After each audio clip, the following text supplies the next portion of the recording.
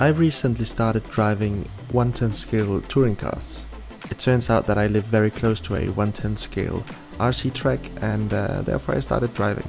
I started out driving with a very cheap kit from Hobby King, but I've recently upgraded to a X-Ray T4 2015 version. Because of the regulations, if you want to attend any races, you have to drive with a certain tire, and that tire needs tire heaters to work properly. Since I didn't want to go out and spend $100 or even more on a pair of tire heaters, I just decided to make my own. So this video is about how I did it and how it turned out. I started off making a single tire heater and this is what it looks like. The tire heater consists of a metal band made of an aluminum can. The aluminum band is wrapped with resistance wire and the resistance wire is hooked up to a power source. A NTC thermistor is mounted onto the band with some thermal paste to be able to measure the temperature. The power to the resistance band is controlled via a relay and everything is hooked up to an Arduino Uno. So now you kinda know how they work and this is what they look like when they're done. In the front there is a potentiometer that I can use to adjust the temperature. It goes from 40 degrees to 100 degrees Celsius. The tire heaters get warm very fast and from my calculations I'm giving about 25 watts to each wheel.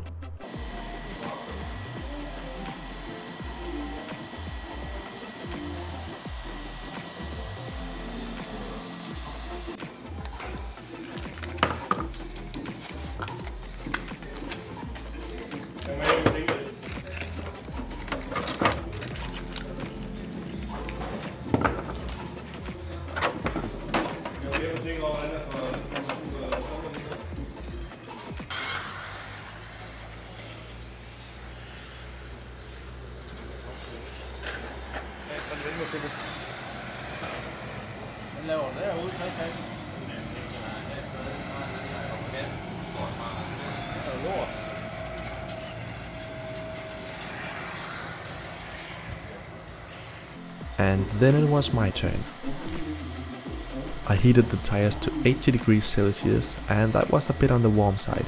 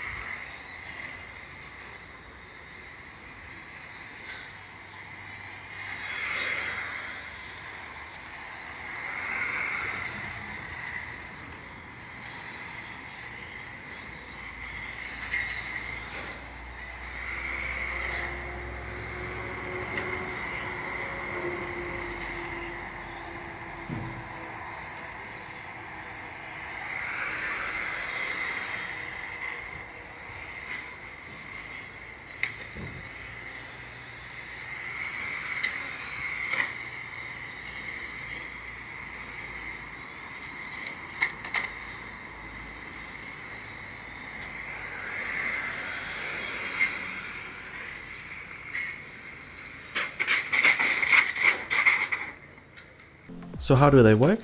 Well, they work really well. They're able to keep the temperature within 3 or 4 degrees of your set point. They get warm really quickly and I haven't really had any issues with them. The only issue I can think of is that you can't use the tire heaters while the body is on the car. Up until this day, my absolutely fastest lap time has been 17.8 seconds. With the new tire heaters I was able to beat that record. First doing 17.6, then 17.5 and 17.4 in the end. And I was just getting faster and faster. I was told that 17 seconds is a great lap time on this track, so 17.4 isn't too bad. I've made this diagram to show you how all the components are connected. We have the Arduino Uno in the middle, and everything is powered from this 20 volt power brick. So it's just a computer power brick. The power brick is fed into the relay and all the way into this step down converter that uh, converts 8 volts for the Arduino Uno. It's fed onto the VIN pin.